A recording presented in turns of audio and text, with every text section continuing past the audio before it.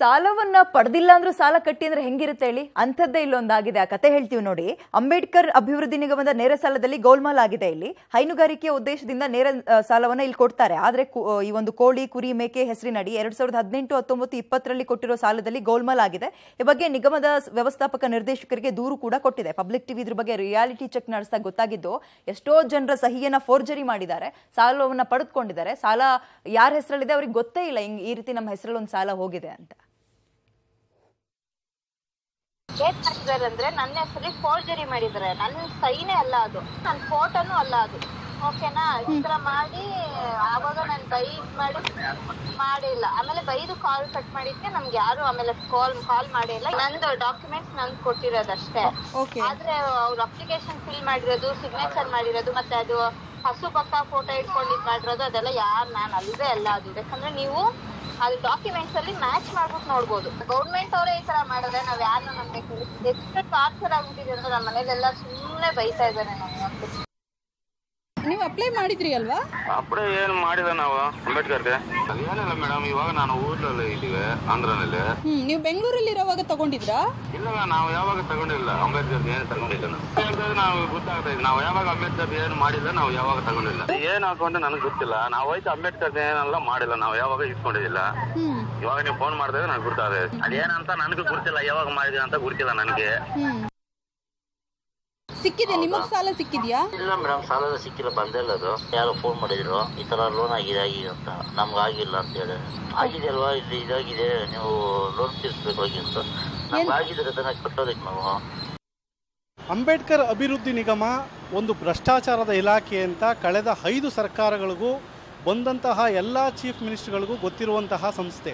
ನೇರ ಸಾಲ ಯೋಜನೆ ಅಡಿಯಲ್ಲಿ ಕುರಿಗಳು ಹಸುಗಳು ಮತ್ತು ಹೆಮ್ಮೆಗಳನ್ನು ಸಾಲವಾಗಿ ನೀಡಬೇಕು ಅಂತ ಹೇಳಿ ಒಂದು ಯೋಜನೆಯನ್ನು ರೂಪಿಸಿರ್ತಾರೆ. ಯಾರು ನಂಬರ್ಗಳನ್ನು ಮೆನ್ಷನ್ ಮಾಡಿರಲ್ಲ ಅಂತಹ ಅಪ್ಲಿಕೇಶನ್ನ ಇವರೇ ಫೋರ್ಜರಿ ಮಾಡಿ ಅವ್ರ ಹೆಸರಲ್ಲಿ ಲೋನನ್ನು ವಿಡ್ರಾ ಮಾಡ್ಕೊತಾರೆ.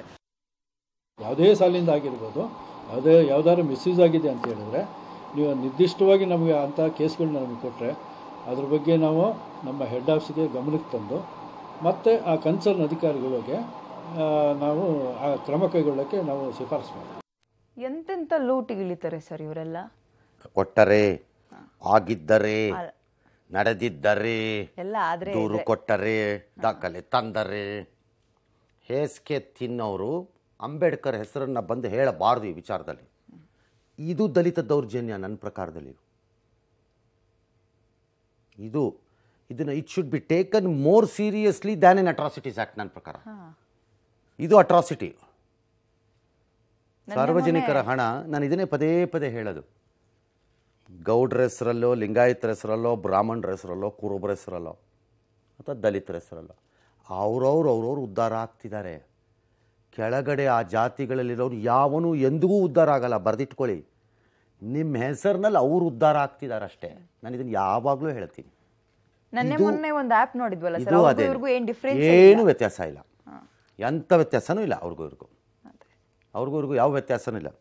ಇದು ನಿಜವಾದ ಅಟ್ರಾಸಿಟಿ ದಲಿತರ ಮೇಲಿಂದು.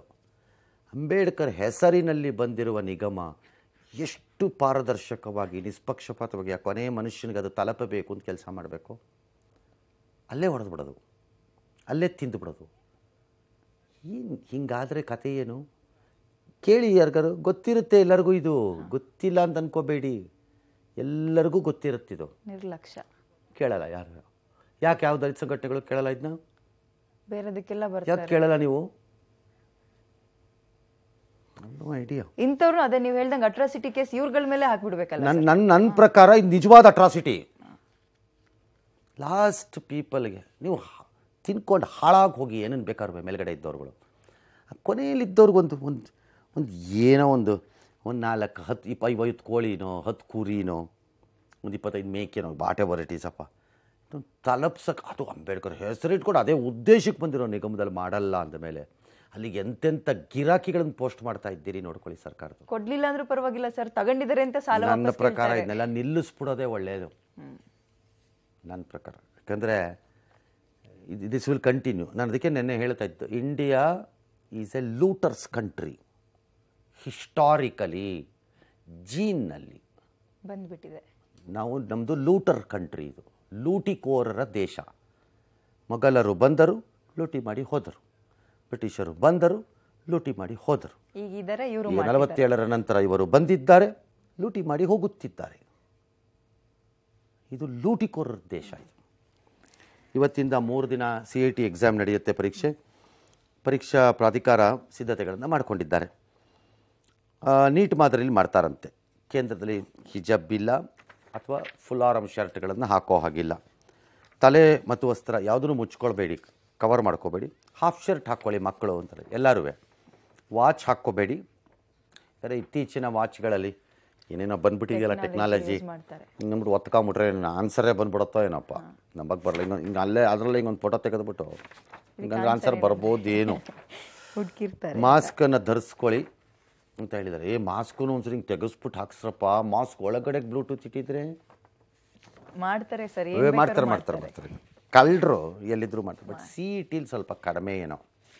ಮೋಸ್ಟ್ಲಿ ಆಲ್ ರೈಟ್ ಮುಂದಕ್ಕೋಣ ಈ ಬಹುಭಾಷಾ ನಟಿ ಸಾಯಿ ಪಲ್ಲವಿ ಅವರು ಈಗ ಒಂದು ವಿವಾದವನ್ನ ಮೈಮೇಲೆ ಹೇಳ್ಕೊಂಡಿದ್ದಾರೆ ಅದು ಧರ್ಮದ ಹೆಸರಲ್ಲಿ ನಡೀತಾ ಇರೋ ಹಿಂಸಾಚಾರವನ್ನ ಟೀಕಿಸೋ ಭರದಲ್ಲಿ ಅವರು ಹಿಂದೂಗಳ ಆಕ್ರೋಶಕ್ಕೆ ಗುರಿಯಾಗಿದ್ದಾರೆ. ಅದು ಕಾಶ್ಮೀರಿ ಪಂಡಿತರ ಹತ್ಯೆ ಮತ್ತು ಇತ್ತೀಚೆಗೆ ಮುಸ್ಲಿಂ ವ್ಯಕ್ತಿಯೊಬ್ಬರ ಮೇಲದ ಹಲ್ಲೆಯನ್ನ ಹೋಲಿಸಿ ಯಾರನ್ನೂ ಧರ್ಮದ ಹೆಸರಲ್ಲಿ ಹಿಂಸಿಸಬಾರದು ಅಂತ ಹೇಳಕ್ ಬಂದಿದ್ದಾರೆ ಇವರು.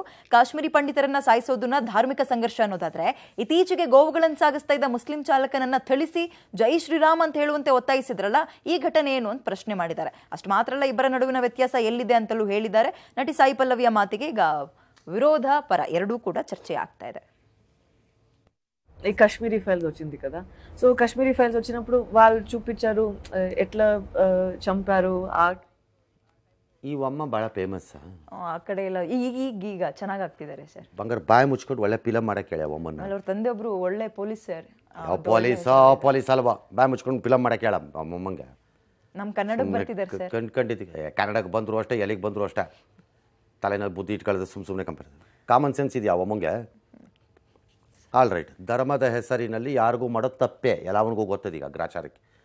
What's at of a comparison you are giving ಆರ್ಟಿಕಲಿ ಕಾಶ್ಮೀರದ ಪಂಡಿತರು ಯಾವನಿಗೋ ಪಿಸ್ತೂರು ಹಿಡ್ಕೊಂಡು ಹೋಗಿ ಗುಂಡೊಡಿಯಕ್ಕೆ ಹೋಗಿರಲಿಲ್ಲ ಮಾ ಮಾತಾಯಿ. ಏನು ಓದಿರೋದು ನೀವು? ಡಿಗ್ರಿ ಏನು? ಯಾವನು ಗುಂಡೊಡಿಯಕ್ಕೆ ಹೋಗಿರಲಿಲ್ಲ ಅಲ್ಲಿ? ಓದಿದ್ರೆ ಹಂಗೆ ತಿಳ್ಕೊಬೇಕು ಹಿಸ್ಟ್ರಿನ ಕಂಪ್ಯಾರಿಸನ್ಸ್ನ ಅಲ್ಲಿ ಯಾವನು ಗುಂಡೊಡಿಯಕ್ಕೆ ಹೋಗಿರಲಿಲ್ಲ? ಯಾರನ್ನ ಸಹಿಸಕ್ಕೆ ಹೋಗಿದ್ರು ಕಾಶ್ಮೀರಿ ಪಂಡಿತರು? You are comparing it with this type of characters ಇಲ್ಲಿ ದನ ಸಾಗಿಸ್ತಿರೋನನ್ನ ಅಕ್ರಮವಾಗಿ ಕಾನೂನಿಗೆ ವಿರುದ್ಧವಾಗಿ ಸಾಯಿಸಬೇಕು ಅಂತ ಯಾರೂ ಹೇಳಕ್ಕಾಗಲ್ಲ.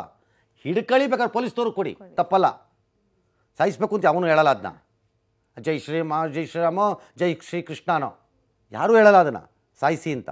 ಹಿಡ್ಕೊಂಡು ಪೊಲೀಸ್ ಪೊಲೀಸ್ನವ್ರಿಗೆ ಹೆಡ ಮುರಿ ಕಟ್ಟು ಹಾಕ್ಬೇಕು. ಬಿಕಾಸ್ ಕಾನೂನಿಗೆ ವಿರುದ್ಧ as simple as it is ಅದಿಲ್ಲ ಅಂದ್ರೆ ನಿಮ್ಮ ಅಪ್ಪ ಅಮ್ಮನ ಕೇಳಮ್ಮ.